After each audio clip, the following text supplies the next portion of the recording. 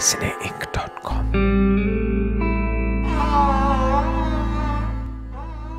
नमस्कार, आदाब। मेरा नाम परवेज़ आलम है और इस वक्त मैं लंदन के एक बहुत ही मशहूर इलाके साउथ हॉल में हूँ। बड़ा देसी इलाका कहा जाता है। एक ज़माने में कहा जाता था, पंजाबियों का इलाका है, लेकिन अभी खासा मिला जुला इलाका है। मेरे साथ मौजूद हैं गीता सहगल। गीता सहगल जो हैं, वो दुनिया भर में खासी मशहूर हैं और ह्यूमन राइट्स एक्टिविस्ट हैं, बहुत काम किया है। गीता, जो भी काम किया है, उसके बारे में मैं सवाल आपसे करने वाला हूँ। बजाय इसके कि मैं आपका इंट्रोडक्शन कराता चलूँ कि आपने ये किया, वो किया। आप बहुत ज़्यादा ख़बरों में रहीं एमनेस्टी इंटरनेशनल के साथ जो आपका एसोसिएशन था। हम क्यों ना वहीं से शुरू करते हैं? आपने एमनेस्टी कब ज्वाइन किया था? 2002 में। 2002 सन 2002 में आपने एमनेस्टी ज्वाइन किया और अब 2010 में छोड़ दिया। और 2010 में छोड़ा आपने। जब 2010 में छोड़ा वो बहुत ज़बरदस्त खबरें थी इस मुल्क में हेडलाइंस गार्डियन में इसमें कई अखबारों में। और वो इसलिए छोड़ा कि कुछ विवाद तनाज़ा कुछ कंट्रोवर्सी थी। और कंट्रोवर्सी ये थी कि आपने कुछ सवाल उठाए थे एमनेस्टी इंटरनेशनल पर और वो सवाल क्या थे? सवाल ये था कि हर इंसान के ह्यूमन राइट्स है उनके हक है कानून के लिए न्याय के लिए हर इंसान जो भी किया है जो भी उन, या उनने कुछ भी किया है उनका हक है न्याय के लिए। लेकिन हर इंसान हीरो नहीं बनता है।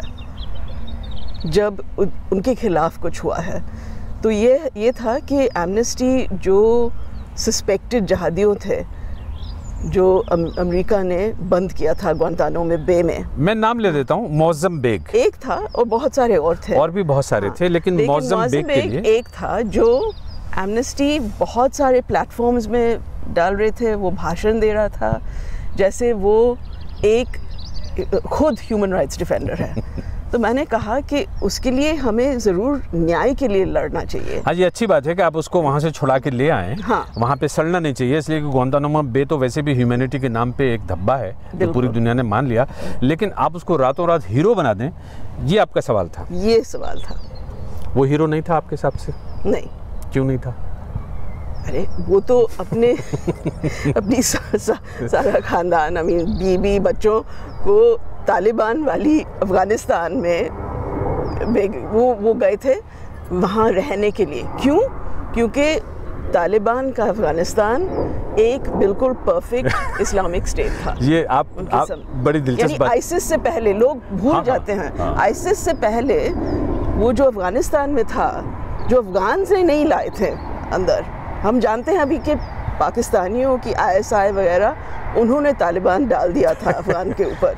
तो एमनेस्टी को ये बात पसंद नहीं आई फिर आपकी कि आप नहीं नहीं मुझे निकाल दिया। आपको निकाल दिया उन्होंने? हाँ। और निकालते वक्त?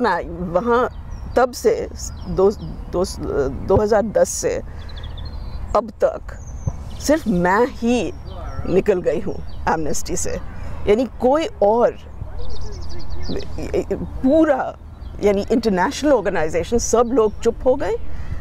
और कोई लीडर कोई सेक्रेटरी जनरल कोई अफसर किसी को कुछ नहीं किया सिर्फ़ मुझे निकाल दिया। ये इसलिए अहम है इस तरफ़ इशारा करना क्योंकि इस तरह की बातें अब भी होती हैं कि अगर आप कुछ लोगों का केस उठाते हैं तो तरह तरह की कहानियाँ निकलती हैं।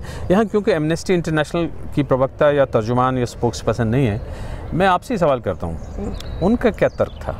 उन्होंने क्यों निकाला? उन्होंने सफ़ाई में अपनी प्रेस स्टेटमेंट्स दिए हुए हैं। वो क्या कहते हैं आपके बारे में? मेरे बारे में? यानी मेरे खिलाफ क्या कहते हैं? मेरे खिलाफ कुछ नहीं कह सकते। हैं मुझे मुझे उनकी शिकायत क्या है आपसे? या पब्लिकली कोई शिकायत नहीं था। वो कहते हैं हाँ वो तो respected member of staff etcetera publicly कोई शिकायत ही नहीं था। लेकिन फिर भी निकाल दिया। क्योंकि मुझे मुझे प्रमोट किया। वो ये भी नहीं कहा सकते थे कि मैं डिसग्रंटल मेंबर ऑफ़ स्टाफ थी। मुझे अच्छा नहीं लगा। क्योंकि मुझे अभी, तभी दो दिन पहले प्रमोशन मिला था। कुछ कह नहीं सके। लेकिन ये बात है कि अपने आप अंदर का कोई एक्सप्लेनेशन नहीं था। यानी अपने स्टाफ को अभी तक एक शीट एक कागज़ नहीं है, जिसमें लिखा है कि मुआजिम बेग की क्या पॉलिटिक्स है, उसके ऑर्गेनाइजेशन जो केज बिज़नेस है, वो क्या क्या करते हैं, किस तरह का जहाद मानते हैं, किसके पीछे यानी किस तरह ये हर मुस्लिम ये जहाद नहीं मानते हैं ना? वो एक किस्म का है। और आ, आ, कोई एक्सप्लेनेशन नहीं दिया था उन लोगों ने। और वो उनके साथ काम करते रहे।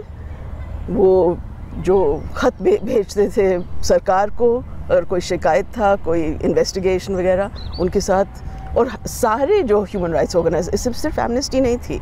लिबर्टी जो या ब्रिटिश ह्यूमन राइट्स ऑर्गेनाइजेशन है ह्यूमन राइट्स वॉच जो अमेरिका में बेस है, जो इंटरनेशनल ऑर्गेनाइजेशन वो सब उनके साथ काम करते थे। और उनका रिसर्च वहाँ वो केज लोग यानी मुआजिम बे की ऑर्गेनाइजेशन से आता था। तो वो जॉइंट रिसर्च भी करते थे। तो कहीं मतलब थोड़ा सा हमारे लिए लेसन ये है, या मैं जो समझना चाह रहा हूँ, या बहुत सारे लोग जो देख रहे हैं, उस जानना चाहेंगे कि क्या जो ह्यूमन राइट्स ऑर्गेनाइजेशन हैं उन पर सवाल उठाना किसी हद तक ठीक रहता है बहुत बार?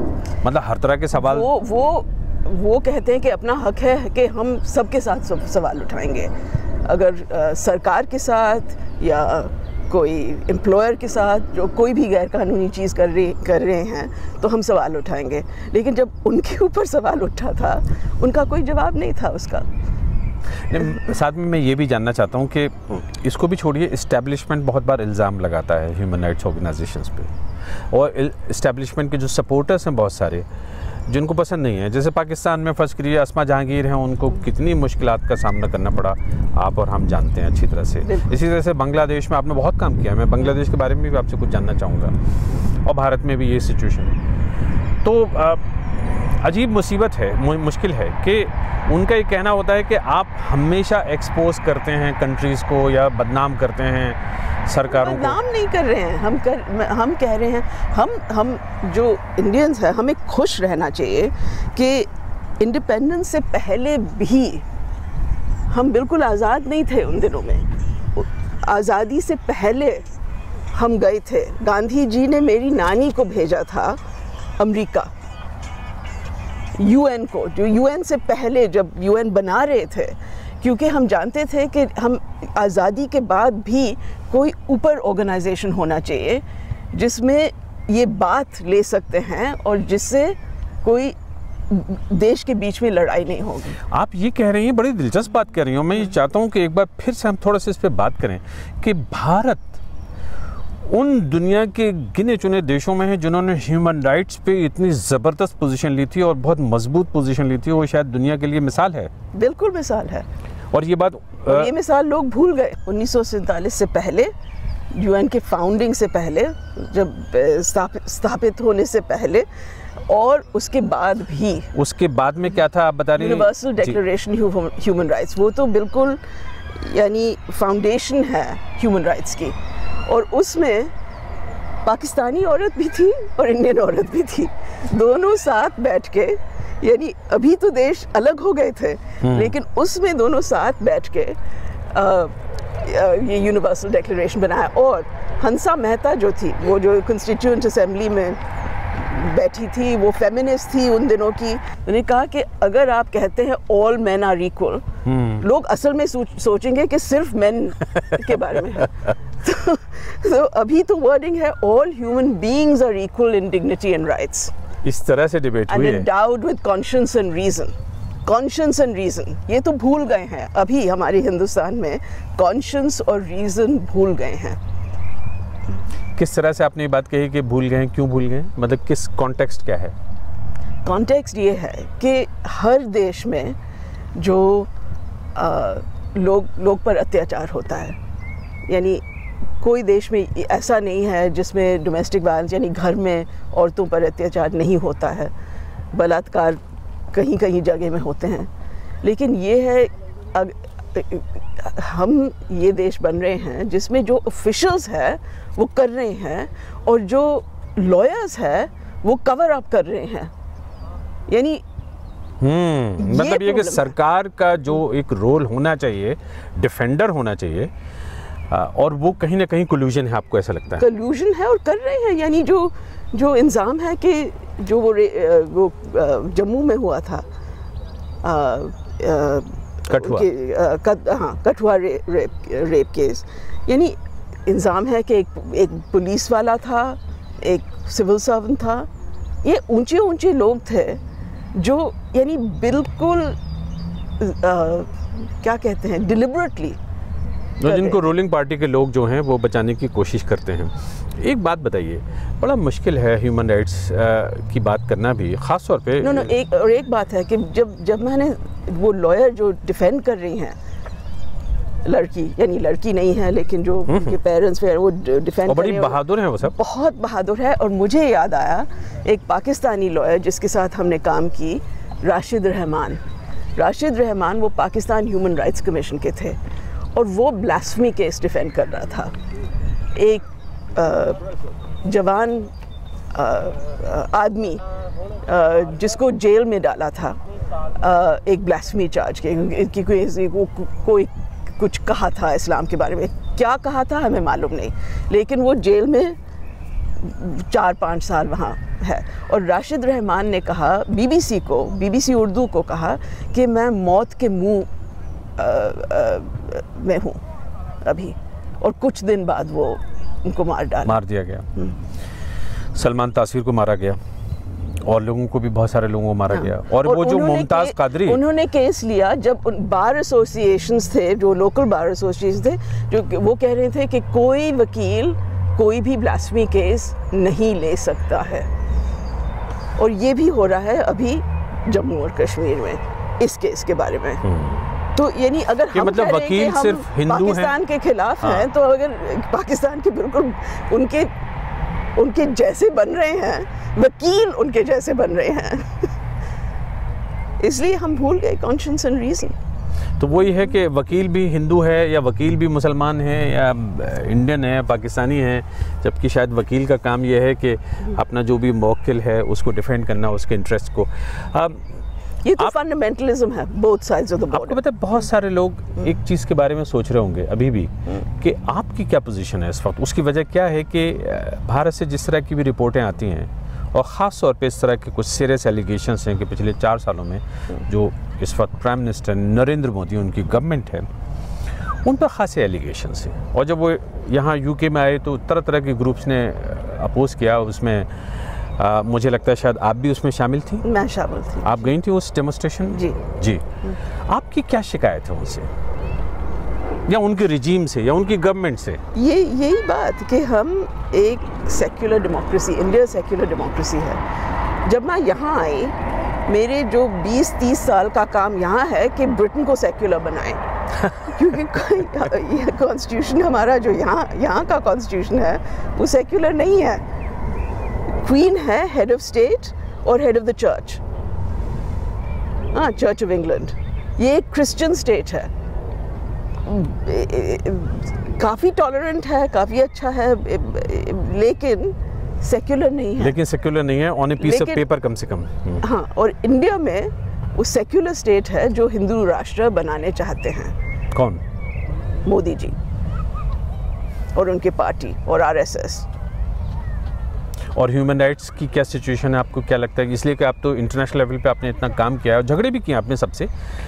इन इश्यूज़ पे कि ढंग से चीज़ों को रिप्रेजेंट किया जाए, इस वक्त क्या, किस तरह की खबरें हैं इंडिया से आने वाली? यानी माइनॉरिटीज़ के हवाले से माइनॉरिटीज़ की, के भी, लेकिन करप्शन के भी। जब वो आए थे सरकार में, वो कह रहे थे कि कांग्रेस वाले यूपीए गवर्नमेंट बहुत ही करप्ट है। और मैं मानती हूँ वो करप्ट ज़रूर होते। हाँ बहुत सारी चीज़ हो रही है। जो वो दलित के खिलाफ सब हरी हर माइनॉरिटीज़ के, के खिलाफ यानी मुस्लिम क्रिश्चियन औरतों के बारे में कहते हैं कि हम बहुत एम्पावर करते हैं लेकिन ये जब ये रेप्स होते हैं तो, तो वो चुप रहते हैं तो अब आप ये देखते हैं कि वो किस धर्म की हैं और किस तरह से है। आ, एक सवाल मैं आपसे ये कर सकता हूँ कि मैं आपका जो भी कनेक्शन है हिंदुस्तान में या जो फैमिली का सिलसिला है मैं मैंने ज़िक्र नहीं किया जानबूझ के और ना मैं अभी करूँगा मैं बाद में करूँगा। लोगों को फिर बाद में बताऊँगा कि वो क्या कनेक्शन है आपका। लेकिन एक सवाल है जो मुझे लगता है कि आपसे पूछना चाहिए।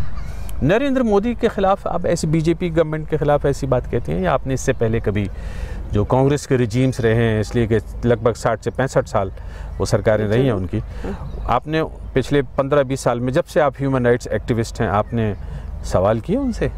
इसी तरह से? सारे सवाल किए हैं। इसी तरह से सवाल किए जब मैं जब मैं बहुत जवान थी मैं यहाँ थी इमरजेंसी के टाइम हम तो डेमोन्स्ट्रेशन कर रहे थे और वो सब थे अकाली थे बीजेपी वाले सब सब थे। बीजेपी तो था, था नहीं लेकिन जो भी थे उन दिनों में हम सब साथ कांग्रेस के सरकार और खासकर इंदिरा गांधी के खिलाफ हम थे। जब 84 में यहाँ साउथ हॉल में हमने एक, एक, एक उनकी आ, आ, जब उनको मारा मार डाला था। 84 में 31 ऑफ़ अक्टूबर 1984 1984 में। जी इंदिरा गांधी। उसके बाद हमने एक पीस मीटिंग किया था यहाँ। और बीबीसी में बार बार वो दिखा रहे थे कि जो सिख हैं वो मिठाई बांट रहे हैं और जो हिंदुओं हैं वो आ, मंदिर में यानी प्रार्थना कर रहे हैं। तो हमारी बात ही कि हम सब साथ हैं। ये जो हो रहा है हम कोई आ, हम खालिस्तान मूवमेंट के अगेंस्ट हैं और जब गवर्नमेंट ऑर्डनरी सिख को अटैक करते हैं उनके भी खिलाफ है। उन्नीस सौ चौरासी की ही बात जारी रखते हैं इसलिए कि वो बार बार एक ऐसा इशू है कि आज की सरकार से अगर कोई भी सवाल करे तो उसके जितने भी समर्थक हैं सपोर्टर्स हैं वो छूटते ही कहते हैं कि साहब उन्नीस सौ चौरासी में क्या हुआ था और पहले क्या हुआ था और नेहरू जी ऐसे थे और वैसे थे और कहानी बड़ी पुरानी चली जाती है। तो इसलिए मैं चाहता हूँ कि आपसे ज़रा बात यही जारी रखें कि उन्नीस सौ चौरासी में यहाँ पर एक स्टॉप एंड सर्चेज वाला मामला भी हुआ था। यानी मिसाल के तौर पर ये खबर इस तरह से आई थी कि सरकार की तरफ़ से भारत की सरकार की तरफ़ से और कुछ पेपर्स मुझे याद है अच्छी तरह से अखबारों में छपे थे जिसमें मिसिस सैचर के ज़माने में कहीं ना कहीं ऐसा था कि उनका एक कोपरेशन था इस सरकार का हाँ। इंडिया की सरकार के साथ में और स्टॉप एंड सर्चेज यानी कि यहाँ हो जाता है सारी कम्युनिटी पर शक हो जाता है कि ये टेररिस्ट कम्युनिटी है क्या तो, हुआ था यानी यानी पुलिस वालों बहुत लोग को रोकते हैं और या या कहते हैं या अगर कोई मुसलमान यानी जो हाउंसलो में रह, रहने वाले मुस्लिम यानी लड़के थे उनको यहाँ आना है कोई यानी बिरयानी खाना है या कुछ भी तो पुलिस वालों उनको रोकते थे। जैसे यानी बंद कर और दिया सिखों के साथ में भी ऐसा हुआ था? सिखों तो अंदर रखते थे। बाहर के जो लोग ये आने नहीं देते। तो आपने प्रोटेस्ट किया था उस जमाने में? यानी उस तरह का काम करते थे। यानी हर हर चीज़ प्रोटेस्ट नहीं कभी कभी पुलिस वालों के साथ बात करना है कभी कभी कुछ okay. आ, केस लेना एक है। बात और बता दीजिए कि उन्नीस सौ चौरासी में कांग्रेस की जो भी मैंने उस टाइम एक साउथ हॉल बॉयज़ के बारे में एक फ़िल्म बनाई थी कि जो गैंग्स है। और ये दो गैंग्स है वो तो अभी बहुत ज़्यादा सीरियस हो गए गैंग्स उस टाइम एक थी एक का नाम है टूटी नंग और दूसरी का नाम है होली स्मोक्स। तो दोनों पंजाबी थे लेकिन एक था एक ज़्यादा रेगे पर जाते थे उस तरह का। और दूसरे तो भांगड़ा वगैरह लेकिन वो दोनों, यानी मिलकर या ये दोनों आपस में लड़ते थे और अगर किसी का गर्लफ्रेंड किसी और गैंग से आते थे, वो वो वो बात बहुत सारी लड़ाई होती थी उसके ऊपर। और कम्युनल बात भी होती थी कि कोई मुस्लिम गैंग से कोई पंजाबी या हिंदू पंजाबी या सिख पंजाबी लड़की एक, एक सवाल उन्नीस सौ चौरासी के बारे में मैं आपसे और करूँगा और वो ये है गीता सहगल के कांग्रेस की सरकार उस वक्त दिल्ली में थी और भी जगहों पे आसपास और उन्नीस सौ चौरासी का ज़माना मैं दिल्ली में था उस हम्म। वक्त और ऑल इंडिया रेडियो में काम करता था और मैंने तीन दिन तक अपनी आँखों से वो जुल्म और ज़्यादती सब कुछ देखा है कि सिखों के साथ में क्या हुआ था। हाँ। और उसके हवाले से मैंने कुछ काफ़ी काम भी किया है प्रोग्राम भी किए चीज़ें भी हुई लेकिन मेरी कहानी अलग। मगर मैं आपसे ये जानना चाहता हूँ कि आप आज की तारीख में ये जब मुड़ के देखती हैं आपको लगता है कि वो जो कांग्रेस का कोल्यूजन उसमें किसी न किसी तरह से था? कांग्रेस के वर्कर्स का? हाँ, कांग्रेस के कुछ लीडर्स का? हाँ, था? था। मैं तो थी नहीं उस नहीं, नहीं, उन दिनों में फिर भी? लेकिन पीयूसीएल ने एक बहुत बड़ा रिपोर्ट निकाला है उसके बारे में और बहुत बहुत सारी टेस्ट मीज ले थे तो मुझे लग लग रहा था कि बिल्कुल कल्यूशन है बिल्कुल कल्यूशन था और वो पूरी तरह से कंडेम किया जाना चाहिए तो कंडेम हुआ? आपने आप जिन लोग ह्यूमन राइट्स काम कर रहे थे उन्हें पूरी तरह से किया। मैं तो सिर्फ़ गई थी इंडिया मैं यहाँ से गई थी। मैं तो आ, कुछ दोस्त के साथ डेमोन्स्ट्रेशन में गई थी लेकिन वो दोस्त जो थे वो तो रेफ्यूजी कैंप्स में काम कर रहे थे।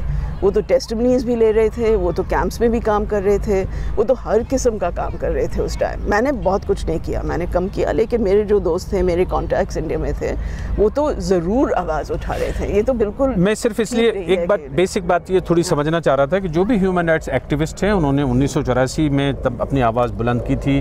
और बराबर लड़ाई भी लड़ी थी और आज भी कहते हैं और ह्यूमन राइट्स में। हार गए यानी केस वो सफल नहीं हुए थे कोर्ट में। अभी भी एक केस आ रहा है जी, जी। से कोर्ट में लेकिन ये ये तो ये तो होता रहता अब है। जो ज़माना है- अभी तक लड़ रहे हैं। हाँ, अब जो ज़माना है वो है बड़ा एक सेलेक्टिव होने का ह्यूमन राइट्स में कि किसके ह्यूमन राइट्स हैं और किसके नहीं हैं। ये इस डिबेट पे कभी आपने इंटेलेक्चुअली कुछ थोड़ा सा मुझे ज़रा सा समझाने की कोशिश कीजिए, आपने ज़रूर समझा होगा कि जैसे कि क्या है कि जम्मू कश्मीर में जो आम बच्चे सड़कों पे आते हैं, उनके हाथों में पत्थर होते हैं, फेंकते हैं, पुलिस वाले ज़ख्मी होते हैं, फौजी भी ज़ख्मी होते हैं। और ये जो बच्चे हैं, वो पुलिस वालों और फौजियों की गोलियों से ज़ख्मी होते हैं। अब एक नज़रिया देखने का ये है कि हमारे फौजी ज़ख्मी होते हैं। बात यहाँ पे ख़त्म हो जाती है। या ये बच्चे भी ज़ख्मी होते हैं। बच्चे और वो जो आदमी था जिसको बाँध लिया जीप पर और वो बेचारा उसमें चुनाव ने अपना वोट दिया था उसके बाद बाँध लिया जीप पर फौजी ने अपनी जीप के आगे बिठाया। हाँ सिविलियंस जो है उनकी ह्यूमन राइट्स पहले आते हैं। जो फौजी हैं उनके पास आमर है उनके पास व्हीकल्स है उनके पास बंदूक है उनको ऑर्डर रखना चाहिए। ज़रूर वो ज़ख्म हो जाते हैं वो तो यानी लोग बुरा मानते हैं कि वो ज़ख्मी हो गए हैं। लेकिन जो बच्चे हो रहे हैं, जो डिलिबरेटली उनको, उनके आँखें में गोली चला रहे हैं, ये तो बिल्कुल रॉन्ग है। ये गाज़ा में भी हो रहा है। इसराइली आर्मी जो है, वो उनको बच्चों पर और आदमी औरत पर जर्नलिस्ट पर बंदूक चला रहे हैं। वो तो फेंस के पीछे है, लेकिन फिर भी बंदूक चला रहे हैं उनके ऊपर। ये रॉन्ग है। अगर वहाँ हो रहा है यहाँ। लेकिन ये भी गलत है कि आज तक कश्मीरी पंडित जो हैं उनके ह्यूमन राइट्स पर किसी ह्यूमन राइट्स ऑर्गेनाइजेशन ने एक भी रिपोर्ट नहीं लिखा है। ये क्यों नहीं लिखा? जो आप इंटरनेशनल ह्यूमन राइट्स ऑर्गेनाइजेशन आप खुद ह्यूमन राइट्स एक्टिविस्ट रही हैं और एक सीनियर पोजीशन पर आपने काम किया एमनेस्टी में और भी जगहों पे। आप लिख सकती थी मुझे उम्मीद है कि मैं लिखूँगी या लोग के साथ काम करूँगी इस, इसी बात पर। सिर्फ़ इसी बात पर नहीं, लेकिन इसी बात पर भी काम करेंगे। क्योंकि देखिए, ये बात अपनी जगह बिल्कुल ठीक है। उनकी शिकायत बिल्कुल जायज़ है कि जो एक वादी में रहते थे, पहाड़ का टेम्परेचर था, उस, जो भी उनका खूबसूरत माहौल था, छोटा सा घर था, फिर उनको रातों रात वहाँ सब छोड़ के जाना पड़ा और दिल्ली जैसे गर्म शहर में 45 डिग्री 50 डिग्री टेम्परेचर जम्मू में इतनी गर्मी पड़ती है। छोटी छोटी जगहों पे उनको जिस परेशानी से ज़िंदगी गुजारनी पड़ी है कश्मीरी पंडितों को, वो जानते हैं और उसके अलावा बहुत कम लोग जानते हैं या उसका ज़िक्र भी कम हुआ। कहीं आपको ऐसा लगता है ये भी कोई नेक्सस है कि कश्मीरी पंडित की बात आई पहले? अब तो खूब होता है ज़िक्र। लेकिन ये कि नहीं पहले जो होता तो था और ये तो लेफ़्ट ने कहा। हाँ पॉलिटिकली इनकरेक्ट मान लोग मान लेते थे। वो कहते थे कि वो लेफ्टिनेंट गवर्नर का कसूर है। ये नहीं देखते हैं कि जो जहादियों आ रहे हैं लेफ्टिनेंट जो जगमोहन उस जमाने में हाँ, होते थे। और उन पर। ये इल्ज़ाम है कि हाँ। कहीं ना कहीं उन्होंने कश्मीरी पंडितों को वहाँ से भगाया। हाँ। ये आप सहमत हैं इस बात से? नहीं। आप इस बात से सहमत नहीं हैं कि उनका रोल नहीं था। उनका रोल होगा यानी उसकी वो तो लेफ्टिनेंट गवर्नर है उनकी जिम्मेवारी होगी इस बात में। लेकिन सिर्फ़ उनके ऊपर इल्ज़ाम ऐसे लगाएँ नहीं ये ठीक नहीं है। तो आप इस प्रोजेक्ट पे काम करेंगे कि कश्मीरी पंडितों के साथ में क्या हुआ? उम्मीद है कि ये हाँ या, या मैं करूँगी या आपके साथ ही लोग करेंगे। साथ लोग करेंगे हाँ। जब आपने कश्मीरी पंडितों का ज़िक्र कर दिया है तो अब मेरे ख्याल से अब हम उस टॉपिक पे आ ही जाते हैं कि गीता सहगल कौन है एक ह्यूमन राइट्स एक्टिविस्ट हैं फ़िल्में आपने बनाई हैं एक और आपका इंट्रोडक्शन है जो मैं भूल चुका हूँ बांदुंग फ़ाइल तारिक अली जो मशहूर ह्यूमन राइट्स कैंपेनर रहे मशहूर जर्नलिस्ट रहे पाकिस्तान से आए यहाँ पे इस मुल्क में रहे। बर्टन रसल के साथ में उन्होंने बहुत ज़बरदस्त काम किया। जल से जुलूस किए वो एक चैनल फोर पे प्रोग्राम करते थे टीवी का बांदुंग फ़ाइल आप उसमें कुछ काम करती थी? जी हाँ। क्या काम करती थी? हर तरह की प्रेजेंट करती थी सबटाइटल्स बनाती थी अ, मेरे अपने फिल्म्स बनाती डायरेक्ट करती थी आखिर में अ, तो गीता सहगल के बहुत सारे इंट्रोडक्शन हैं। उनमें से अब एक आखिरी इंट्रोडक्शन और वो आखिर में ही आना चाहिए था इसलिए कि आपकी अपनी शख्सियत है और आपने ज़बरदस्त काम किया है और आप ख़बरों में रही हैं काम की वजह से रही हैं जो आपने किया है। लेकिन आपका नेहरू ख़ानदान से कनेक्शन है। वो क्या कनेक्शन है? आ, वो कनेक्शन मेरी माँ है नयन तारा सहगल और वो लिखती हैं। ज़बरदस्त नॉवलिस्ट हैं नॉवलिस्ट है और जर्नलिस्ट भी हैं। उन्होंने अवार्ड वापस दिया था। अवार्ड वापस ही जो जो जिन लोग ने नहीं को किताब नहीं पढ़ते हैं उनका नाम नहीं सुना हुआ तो उसी टाइम वो सुना था। और वो वो ये अब ये कहने लगे कि एटी फोर में क्या कर रहे थे। वो तो पी की हेड थी उन उस उस टाइम जब वो इन्वेस्टिगेशन कर रहे थे वो 84 के जो सिखों को हुआ था। आपकी माँ हाँ, नैन तारा सहगल पीयूसीएल में और जस्टिस राजेंद्र सच्चर के साथ। मैं भूल गई सब के साथ। जी। और अरुण शोरनी भी वो याद कर रहा था कि वो पीयूसीएल में शामिल थी उस और उनका काम है 84 में, जो सिक्कों के साथ में हुआ, उसको हाईलाइट करने में और उनकी मदद करने में। और अभी अभी भी, यानी जो बीजेपी के खिलाफ अभी है, वो पहले कांग्रेस के खिलाफ थे। मेरी माँ, मेरी नानी विजय लक्ष्मी पंडित नेहरू जी की बहन थी। और वो अपनी नीस इंदिरा गांधी के खिलाफ थी इमरजेंसी टाइम पे। तो हम तो यानी जो भी सरकार है अगर हमारे ख़ानदान है या नहीं अगर वो कुछ कर रहे हैं यानी डिक्टेटरशिप कर रहे हैं अन्याय कर रहे हैं लोग को बंद कर रहे हैं कॉन्स्टिट्यूशन के ऊपर यानी धक्का मार रहे हैं तो हम आवाज़ तो उठाएँगे। वो चाहे वो कांग्रेसी हो या कोई भी दूसरी पार्टी हो। जी। आखिरी बात ज़रूर बनती है जवाहरलाल नेहरू। एक ऐसा नाम है कि जो इस वक्त पिछले तीन चार साल में मतलब ऐसा लगता है कि जैसे उनकी कोई भी लेगेसी है उसको मिटा दिया जाए। और प्राइम मिनिस्टर नरेंद्र मोदी तो पार्लियामेंट में बोले तो ऐसा बोले कि मेरा ख्याल से एक घंटे तक जवाहरलाल नेहरू पे ही शायद बोलते रहे वो। आ, बहुत ज़्यादा उनके हिस्से में क्रिटिसिज्म आता है। ऐसा लगता है कि जैसे हिंदुस्तान आज जो कुछ भी अगर कुछ बुरा है उसमें तो नेहरू जी की वजह से है। आप जब ये सारी बातें सुनती हैं तो आपको क्या लगता है कि किस हद तक उनका क्रिटिसिज्म जायज़ है किस हद तक जायज़ नहीं है? लोग को क्रिटिसाइज अगर करना है तो कर करना चाहिए। कभी कभी लोग सोचते हैं कि बापू को के, के बारे में कुछ नहीं कह सकते हैं अंबेडकर के बारे में कुछ नहीं कह सकते हम यानी हर नेता को क्रिटिसाइज करना चाहिए अगर क्रिटिसिज्म है। लेकिन हम इतिहास जो है हम उसको मिटा नहीं सकते हैं। और ये मुझे लग रहा है कि ये हो रहा है कि लोग जो माइंडसेट हो रहा है कि हम हमारा पूरा इतिहास को मिटाने की कोशिश कर रहे हैं। कि जो भी कंट्रीब्यूशन रहा चाहे हाँ। वो नेहरू हो गांधी हो कहीं उसको थोड़ा कम किया जा सके। आप इतने मशहूर घराने से आती हैं। ये कभी कभी कुछ लोग ये कहते हैं कि एक तरह का बोझ भी हो जाता है कि आप अपनी इंडिविजुअलिटी जो इनफरादियत जो भी शख्सियत है उसको लेके कैसे चलें? कहीं इस कॉन्फ्लिक्ट से आपको भी गुजरना नहीं क्यों? मैं बहुत दूर आ गई इंग्लैंड में यानी कोई यानी खास लोग नहीं जानते थे मैं कौन हूँ क्या हूँ। सिर्फ़ कभी कभी कहते हैं हाँ she is a bit posh isn't she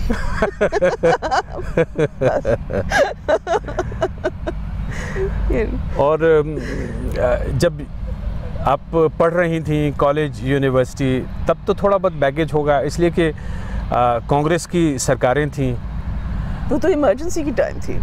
हाँ? और मेरे जो आ, मामू थे वो तो हाई कमिश्नर था बी के नेहरू लेकिन मैं वहाँ जाती नहीं थी उन दिनों में। हाई कमीशन को कभी नहीं जाती थी। गीता सहगल आखिर में वो बातें जो कुछ आप कहना चाहती हैं एक दो बातें। अरे बहुत बातें की क्या बात करनी है।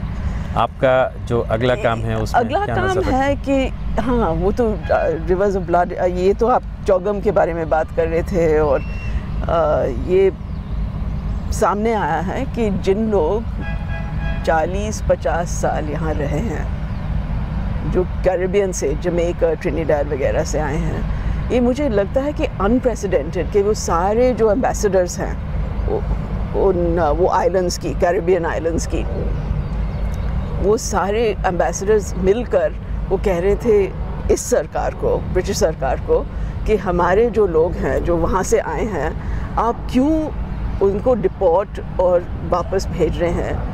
वो यहाँ की सिटीजन्स हैं वो ब्रिटिश सब्जेक्ट्स थे जब वो यहाँ आए थे। वो रहे हैं वो आर्मी में उन्होंने आर्मी में काम किया। अब जो बड़ा काम शुरू हुआ है आप जैसे लोगों का वो ये हुआ है कि इस देश में इमिग्रेशन के संदर्भ में उसके हवाले से अब जो एशियंस यानी हिंदुस्तान पाकिस्तान या बांग्लादेश वगैरह से आने वाले लोग हैं उन पर ज़्यादा नज़र रखी जा रही है और उनको ज़्यादा परेशानियों का सामना करना पड़ रहा है? ये ब्रेक्सिट की वजह ज़्यादा ज़्यादा परेशानी ब्रेग्जिट से पहले भी हो रहा था। चौदह में और सोलह में दो इमिग्रेशन एक्ट थे और टरीज़ा में जब वो होम सेक्रेटरी थी, वो उन्होंने उन्होंने कहा कि मैं एक हॉस्टाइल इन्वायरमेंट बनाऊँगी इमिग्रेशन के लिए। वो कह रही थी इलीगल इमिग्रेशन लेकिन ज़्यादा वो जो कर रही है, वो तो लीगल इमिग्रेशन के लिए हॉस्टाइल इन्वायरमेंट बना लिया। और लोग को इलीगल बना रही हैं और निकाल रही है। तो हम, हमने डेमोन्स्ट्रेट किया। मैं साउथ हॉल ब्लैक सिस्टर्स के साथ गई थी। एक होटल है साउथ हॉल के बाहर। तो एक सीक्रेट मीटिंग हमें खबर मिला कि एक सीक्रेट मीटिंग हो रहा है। होम ऑफ़िस होम ऑफ़िस ने बुलाया बहुत सारे लोग, यानी गुरुद्वारा से, मंदिर से चर्च मस्जिद सब, यानी सब रिलीजियस लीडर्स उनको बुलाए। कुछ लोग एन एच एस वगैरह नेशनल हेल्थ सर्विस वगैरह तो वो कह रहे थे कि कैसे लोग को रिपैट्रिएट करें। और ये पैम्फलेट्स बना रहे हैं, वो जमेका के लिए बना रहे हैं इंडिया के लिए बना रहे हैं। कि इंडिया में हेल्थ सर्विस है, वो बिल्कुल फ्री है ट्रेनिंग फैसिलिटीज़ है ओल्ड पीपल्स होम्स है, पंजाब में सब कुछ है। तो आप क्यों यहाँ सड़ रहे हैं? क्यों नहीं वापस जाते हैं? और इंडियन एन को पैसे दे रहे हैं लोग को यहाँ से निकालना। अगर वो हक भी है यहाँ रहने की फिर भी निकालने की कोशिश कर रहे हैं। ये बड़ी दिलचस्प बात बताई आपने और ये तो ये तो आप ये, ये तो हॉट न्यूज़ है ये तो किसी ने रिपोर्ट नहीं किया मैं आपको ईमानदारी से कहूँ मुझे बिल्कुल नहीं पता था। लेकिन ये कि अब आपके हवाले से एक ही बात नहीं मुझे बहुत सारी बातें पता लगी हैं। लेकिन क्या किया जाए कि इस वक्त मुझे आपसे इजाज़त लेनी होगी कि आपको कहीं जाना है और शायद कुछ और मीटिंग वगैरह का सिलसिला है। गीता सहगल इतना मज़ा आया आपके साथ बात करके और मुझे ऐसा लगता है कि कभी और हम बात करेंगे किसी और टॉपिक पे। Thank you very much thank you thank you very much शुक्रिया बहुत बहुत।